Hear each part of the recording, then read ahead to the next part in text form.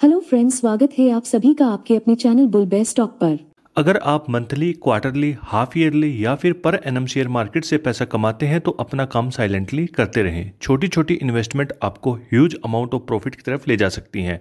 Best ज़रूरत है तो आपको पेशेंस की और कंसिस्टेंसी की, क्योंकि कॉम्प्रोमाइज़ अपनी लाइफ में हर कोई करता है। चलिए बढ़ते हैं आज के कंपनी शेयर की तरफ़। JP power ventures limited first of April को 3.40 के लेवल को छूकर शेयर आज 2.95 पर क्लोज हुआ। आज की pre open order collection summary में इंडिकेटिव इक्विलिब्रियम प्राइस थ्री और क्वांटिटी 5628 रही। सिक्योरिटी वाइज डिलीवरी पोजीशन आपके सामने है। देखो लॉन्ग टर्म प्रोस्पेक्टिव मैनर में हमें यहाँ से अच्छा रिटर्न देखने को मिल सकता है।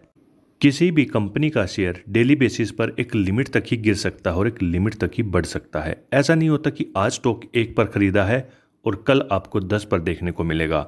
शेयर मार्केट आपका टाइम और पेशेंस दोनों का इम्तिहान लेती है। एक भाई हमेशा मैसेज करता आया है, उसने वन लाख रुपये इन्वेस्टमेंट किए हैं इस कंपनी में और अगले नाइन मंथ्स के अंदर शेयर ट्वेंटी से थर्टी के टारगेट पर पहुँच जाएगा। देखो, मैंने लॉन्ग टर्म में मना नहीं किया।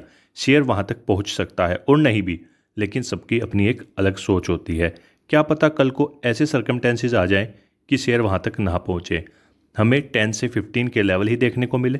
फ्यूचर अनसर्टेन है। आप बिल्कुल सही लेवल नहीं बता सकते। हम सिर्फ़ प्रिडिक्ट कर सकते हैं करंट सिनेरियो को देखकर। क्वार्टर फोर रिजल्ट्स जब आएँगे, हम दोबारा से कंपनी की इनडेप्थ एनालिसिस करेंगे। बाकी मिलते हैं नेक्स्ट वीडियो में। तब तक के लिए bye bye and take care